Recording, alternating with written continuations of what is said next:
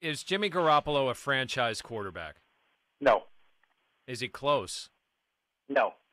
He's a good quarterback. I mean, he's he's like Chad. I, I always compared him to uh, the guys that can get you into the playoffs and then struggle after that. I was able to get to the Super Bowl, win some playoff games, and all of that.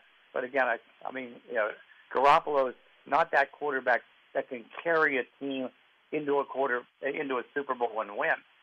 Oh, he's Chad Pennington. Oof.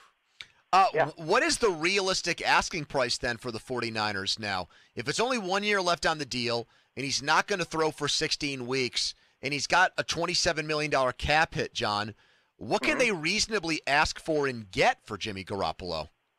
Probably a four or five right now. I thought it was going to be a two, but now I'm thinking it's going to probably be a four or five.